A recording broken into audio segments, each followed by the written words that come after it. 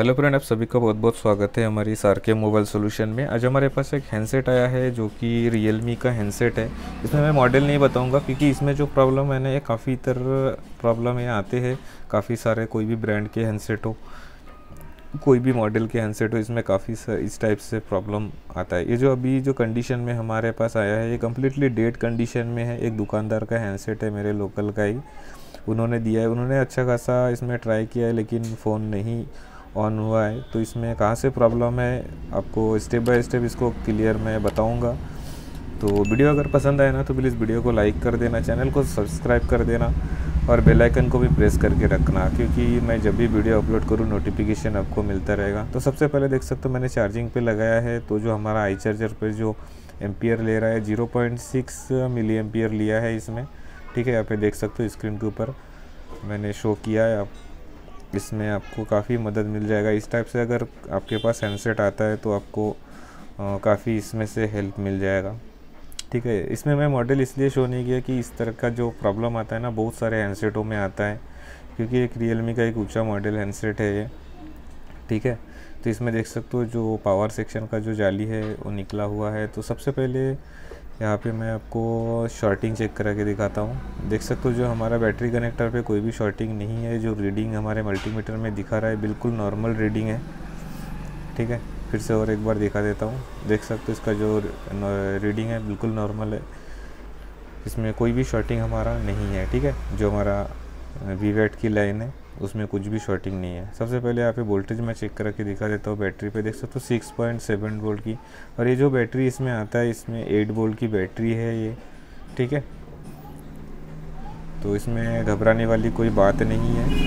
तो सबसे पहले इसको मैं आपको एक बार ना डीसी मशीन में चेक करा के दिखा दूँगा कि इसमें क्या रीडिंग इसमें हमारा लेता है। तो यहाँ पे थोड़ा सा मुझे प्रॉब्लम होगा क्योंकि मैं अकेला ही इसमें काम करता हूँ और वीडियो भी अकेला ही बनाता हूँ। इसमें थोड़ा सा दिक्कत होता है कि आपको लोग अगर दिखाने जाऊँ। एडिट करके दिखाऊँगा तो काफ़ी सारे भाई यकीन नहीं करते कि कुछ इसमें दिक्कत है कि नहीं। इसीलिए जो कंटिन्यू जो वीडियो चलता है, उसमें मैं आपको डी सी इसमें जो बूट केबल में जो हमारा कनेक्टर होता है वो इसमें नहीं है। तो हमारे पास जो प्लस माइनस का जो सिंगल आता है उसमें ही इसमें मैं आपको दिखाऊँगा। इसमें हमें कुछ थोड़ा आइडिया हो जाता है कि आ, हमारा इसमें कहाँ पे काम करना है और क्या प्रॉब्लम है ठीक है? देख सकते हो मैंने जो हमारा ब्लैक प्रूफ है उसको मैंने ग्राउंड कर दिया है। को अच्छे से दिखाने की कोशिश करता हूँ। देख सकते हो यहाँ पे जो माइनस वाला पॉइंट है उसको मैंने ग्राउंड किया है। मदरबोर्ड के, और उसका जो प्लस वाला पॉइंट है, उसको मैं बैटरी कनेक्टर का जो पॉजिटिव पॉइंट है, उसमें मैं दिया है। उसके बाद मैं आपको डीसी मशीन में दिखाने की कोशिश करूँगा। थोड़ा सा यहाँ पे प्रॉब्लम हो रहा है तो आप एडजस्ट कर लेना उसके लिए। फिर भी मैं आपको दिखाऊँ, दिखाने की पूरा कोशिश करूँगा कि आपको सही से दिख जाए। थोड़ा सा मुझे सेट करने दो।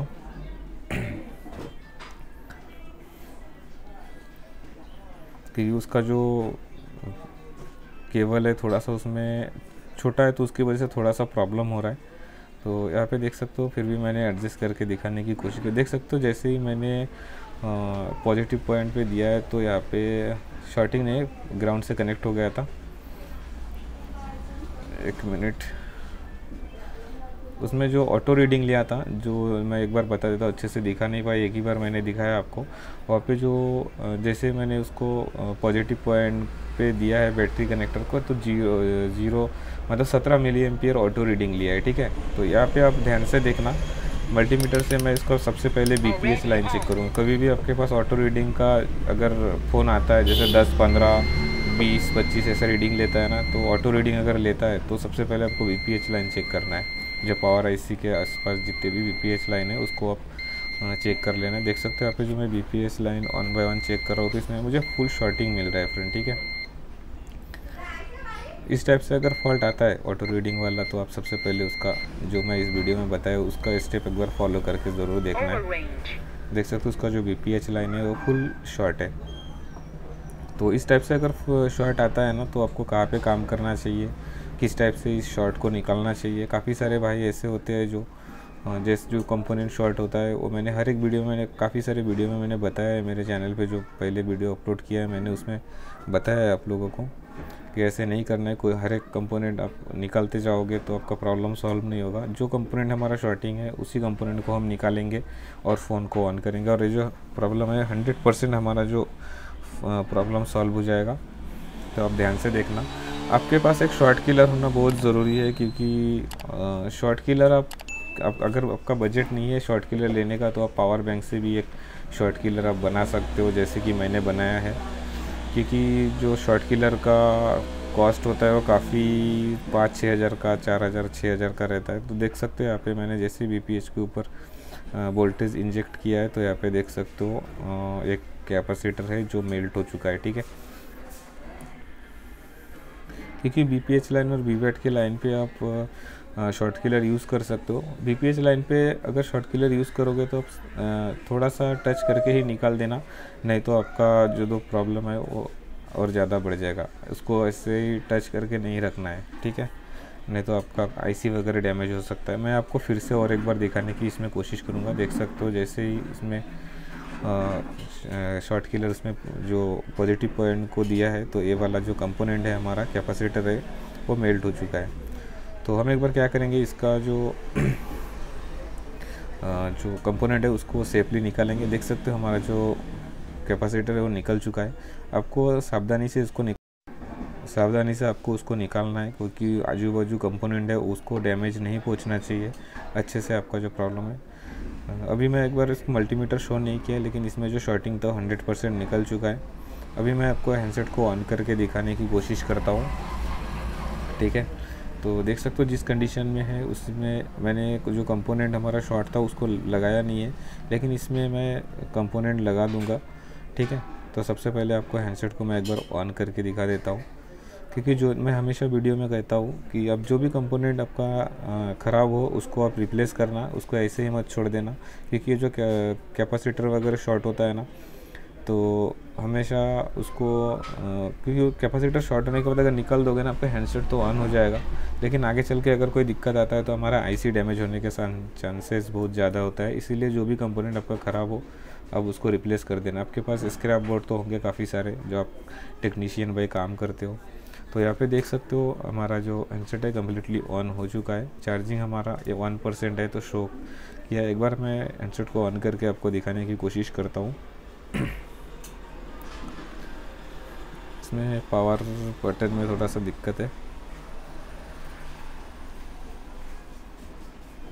वीडियो अगर पसंद है तो प्लीज़ वीडियो को लाइक कर देना चैनल को सब्सक्राइब कर देना बेल आइकन को भी प्रेस कर देना।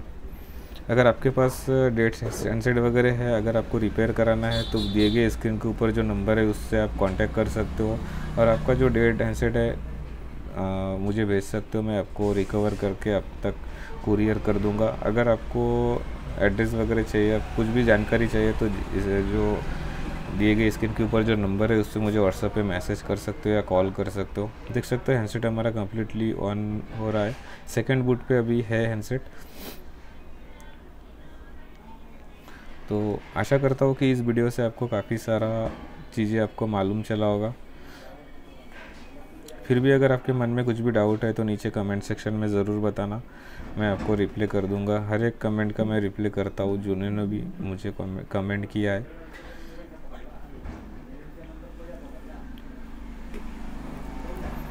तो यहाँ पे देख सकते हो, अभी भी सेकेंड बूट पे है। थोड़ा सा वेट करेंगे। देख सकते हो हैंडसेट कम्प्लीटली ऑन हो चुका है। इसमें पासवर्ड लगा है तो पासवर्ड मुझे नहीं पता। इसमें चार्जिंग कम है, इसीलिए ब्राइटनेस थोड़ा कम है। तो चलो फ्रेंड फिर मिलते हैं नेक्स्ट और एक वीडियो में अच्छे से एक टॉपिक के तब तक के लिए bye bye thank you so much thanks for watching